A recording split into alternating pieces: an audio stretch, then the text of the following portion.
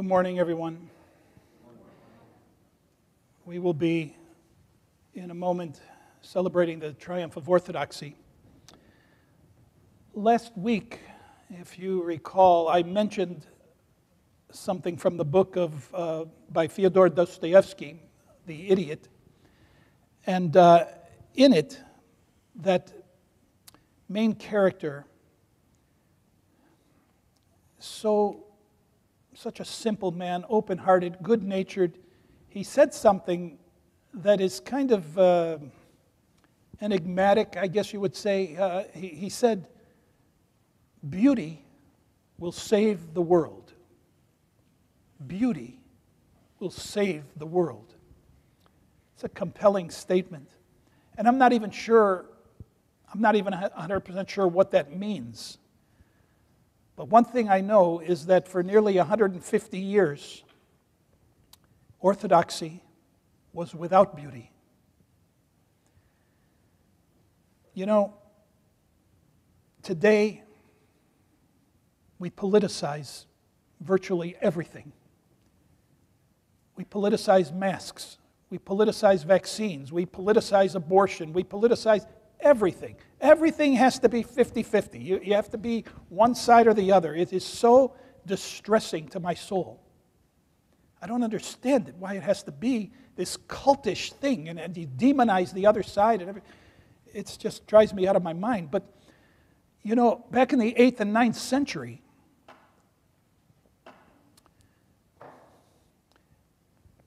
iconography itself was politicized. And you had emperors getting rid of icons, defacing them on the walls, and getting rid of them in the churches altogether. Um, there's a couple of reasons, at least, for this. One is that people were actually making, making idols out of the icons. So, you know, they, there was, uh, they had a right to say, hey, that's not right. That icon is not God. The Bible is not God. You know, God is God. All these things are here to help us get closer to God, but they are not God themselves. And so some people were making them like idols. And so the emperors were concerned, and they had a point. And so the church was forced to, you know, define itself about what icons are, and it did. The other reason uh, for getting rid of the icons is because now all of a sudden you had Muslims coming in and influencing the Christians and saying, we don't allow images at all. And so that mentality, it's so easy to be influenced, my friends. You have to, you have to know who you are and not be so easily influenced. So, you know, they, they got rid of these icons for 150 years the church was without beauty. It was women.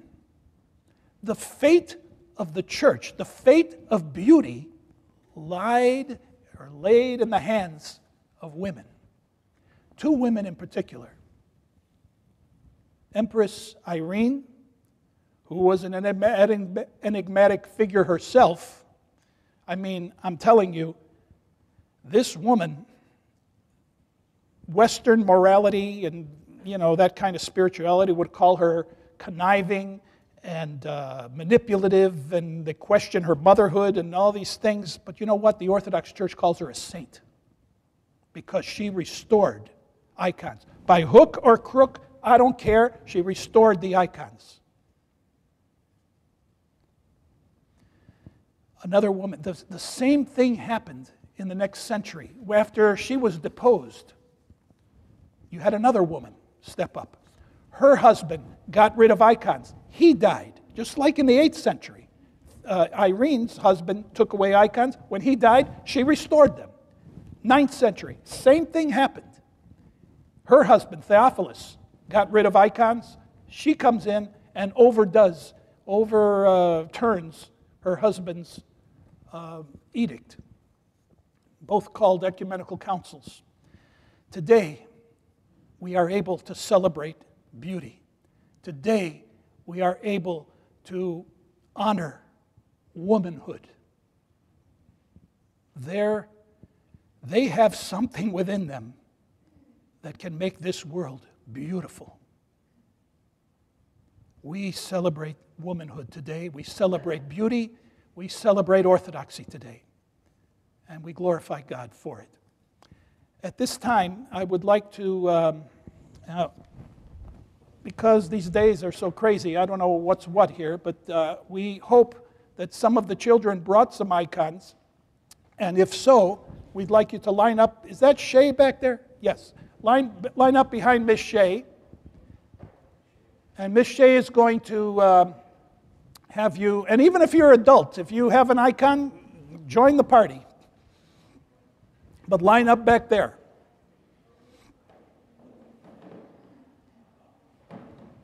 And Miss Shea is going to march you toward us, and then we are going to march around the church in celebration of the triumph of orthodoxy.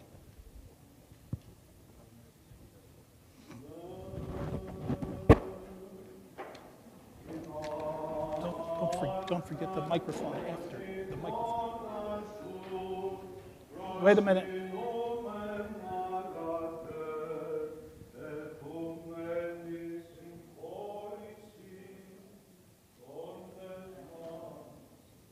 Wait a minute. Wait. Oh, give that to her, but you wait. Go ahead.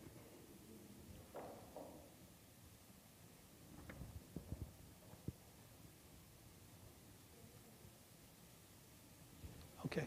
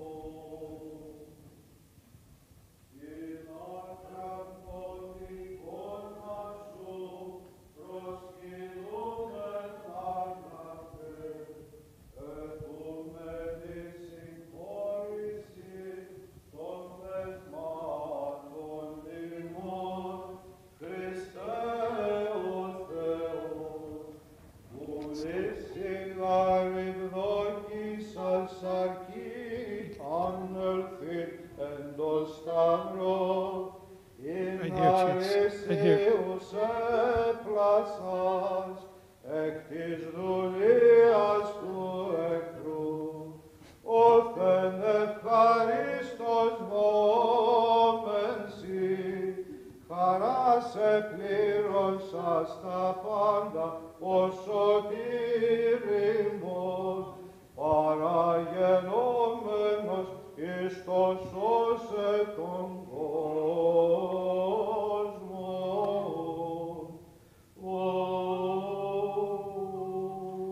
eleison imás o Deus, cada do megaleos o Deo methasu epakouson και eleison, Kyrie eleison, Kyrie.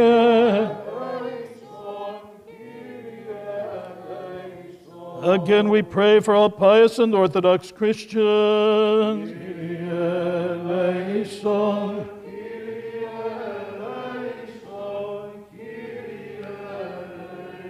Again, we pray for Archbishop Alexios and all our brothers and sisters in Christ.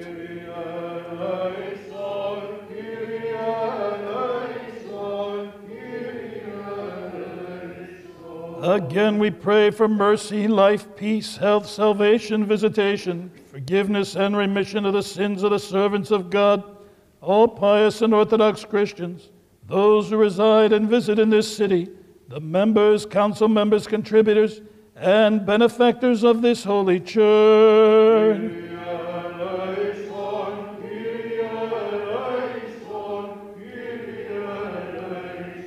Again, we pray for the blessed memory and eternal repose of your departed servants, emperors, patriarchs, hierarchs, priests, hieromonks, deacons, monks, and all our departed faithful and Orthodox Christians everywhere in the world fathers, forefathers, grandparents, great grandparents, parents, brothers, sisters, and relatives.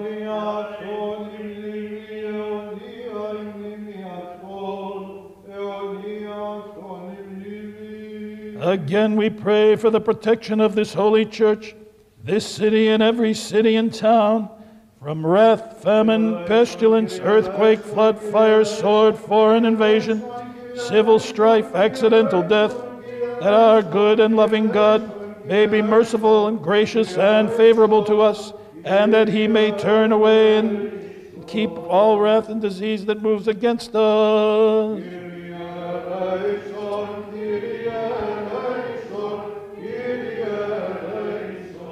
Hear us, O God, our Savior, the hope of all the ends of the earth. Those who are far off at sea, be gracious toward our sins, O Master, and have mercy on us, for you are a merciful and loving God. To you we ascribe glory, to the Father, and to the Son, and to the Holy Spirit, now and forever, and to the ages of ages. As the prophets beheld, as the apostles have taught, as the church has received, as the teachers have declared, as the world has agreed, as grace has shone forth, as truth has been revealed, as falsehood has been dispelled, as wisdom has become manifest, as Christ awarded, thus we declare, thus we affirm, thus we proclaim Christ our true God and honor his saints in words, writings, thoughts, sacrifices, churches, and holy icons. On the one hand, worshiping and reverencing Christ as God and Lord, and on the other, honoring the saints as true servants of the same Lord of all, and offering them proper veneration. This is the faith of the apostles. This is the faith of our fathers. This is the faith of the Orthodox. This is the faith on which the world is established. Therefore, with fraternal and filial love, we praise the heralds of the faith those who with glory and honor have struggled for the faith. And we say to the champions of orthodoxy, faithful emperors, most holy patriarchs, hierarchs, teachers, martyrs, and confessors, may their memory be eternal.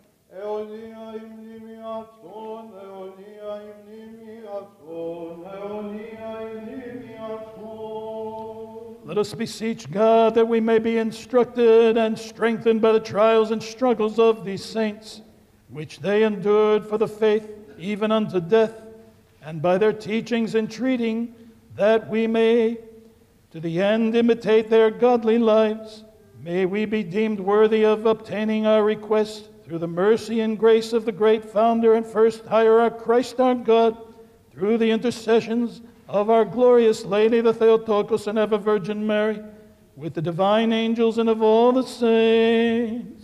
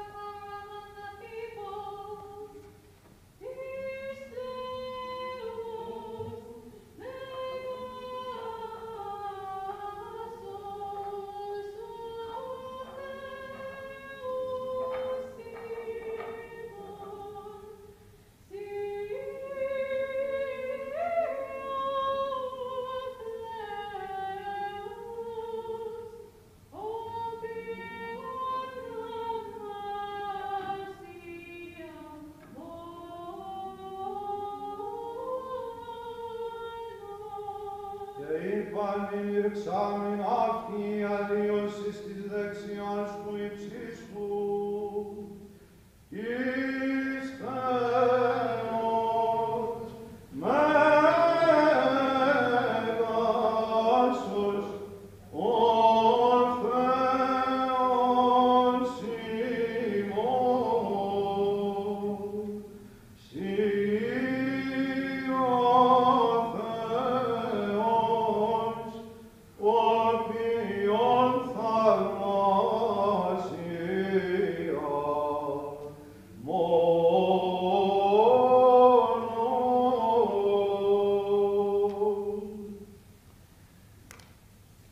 Thank you, children. Uh, why don't you raise up your icons and come in a little closer so we can get a better picture? Can we bunch up? Is that okay? I hope it's okay.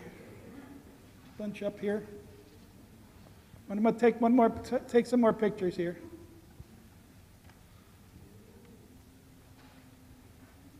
Smile.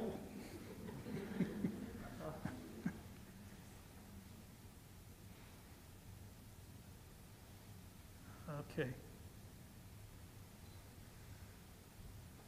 Now, our, our children are maturing. I remember when we've done this in the past, and everybody's wiggling around and having- ADD and everything, and something's happened to our children here.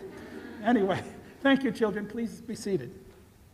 At this time, I would like to call up a couple of our, and I'll take that. This is uh, Saint Irini, by the way, one of my favorites.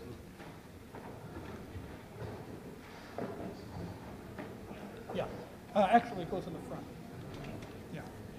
Okay, uh, just a short, short little program for the um, pre celebration of the 200 year independence of uh, Greece. And so I'm going to call up Yasonas and Violetta Stratus. Yasonas and Violetta Stratus to offer their little poems.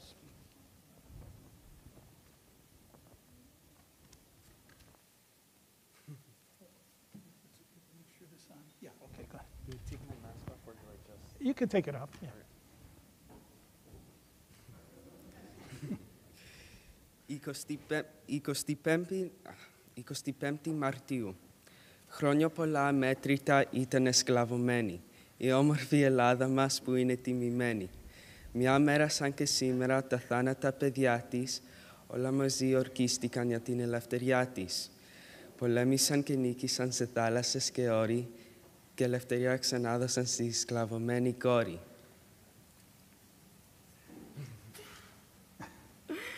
Ελλάδα, δεν χορταίνω να βλέπω τον ήλιο που το φως του σκορπάει στην πλάση. Δεν χορταίνω να βλέπω τους κάμπους, τα βουνά, τις πλαγιές και τα δάση. Δεν χορταίνω να ζω... Όχι, δεν χορταίνω να... να βλέπω τα δέντρα, τις πηγές στη μικρή μας πλατεία. Δεν χορταίνω να ζω, να αναπνέω στην ωραία αυτή πολιτεία. Δεν χορταίνω να βλέπω ακρογιάλια και πανόρια νησιά στην Ελλάδα. Δεν χορταίνω να βλέπω σένα, ο πατρίδα Ελλάδα, Ελλάδα. Thank you so much, children.